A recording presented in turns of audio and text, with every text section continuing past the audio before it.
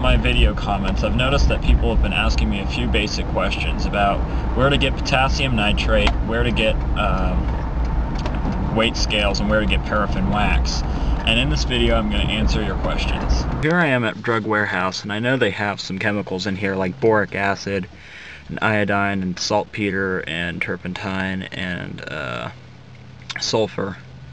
But a lot of the stuff, it, it is in small quantities and it is rather pricey, but bear in mind that even though it is pricey, you do get the pure 100% stuff here. So I'm at the drug warehouse and they have saltpeter and sulfur for 249 and 179 and they even have boric acid here which is pretty cheap for considering you know it's pure boric acid.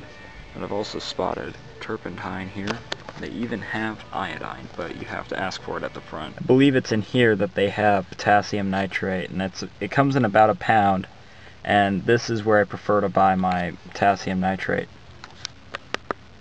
And there you have uh, Spectracide stump remover, otherwise known as 99% potassium nitrate.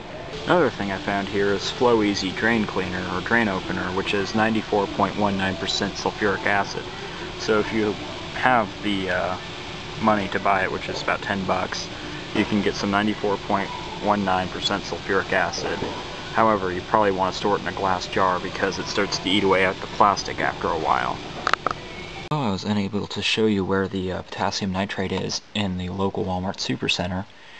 Um, you'll be able to find it in the gardening section next to all the weed killers. You'll be able to find weight scales at your office supply store like Office Max, Staples, Office Depot, any of those under the uh, postage section. Lastly, you'll be able to find paraffin wax at your local Hobby Lobby or any hobby supply store, and it should be underneath the uh, candle making section, and it will look like a white wax.